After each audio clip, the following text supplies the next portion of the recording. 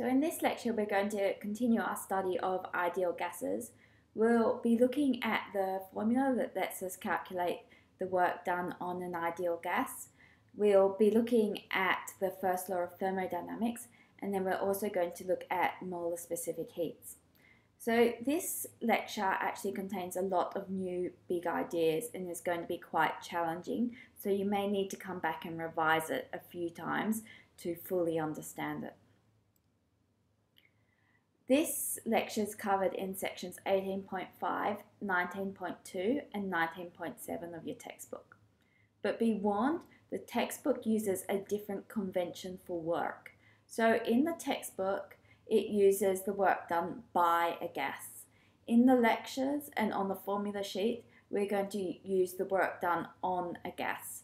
So these are the same but opposite. So they have opposite signs, but the magnitude's the same. So just remember if you're reading over the textbook that that's the work done by a gas.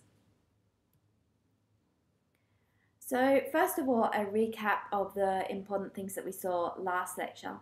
Last lecture you were introduced to degrees of freedom and we said that there are ways in which particles can store energy and they're associated with the movement of the particle.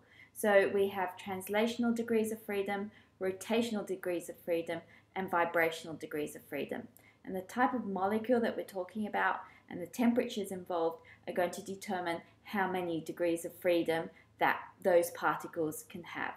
And each of these degrees freedom of freedom can store energy. So taking into account the total number of particles and total number of degrees of freedom inside a gas, we know that the total energy that a gas can store is given by a half F N K B T. So as we'll see later today, this is also called the internal energy, which is what we'll be looking at in a bit more detail in this lecture to start with.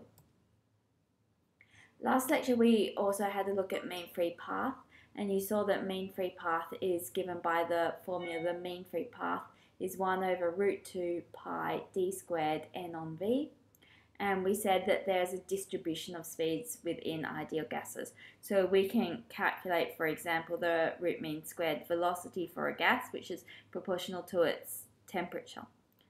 But it doesn't mean that all particles are traveling at that speed, it's just the average particle speed.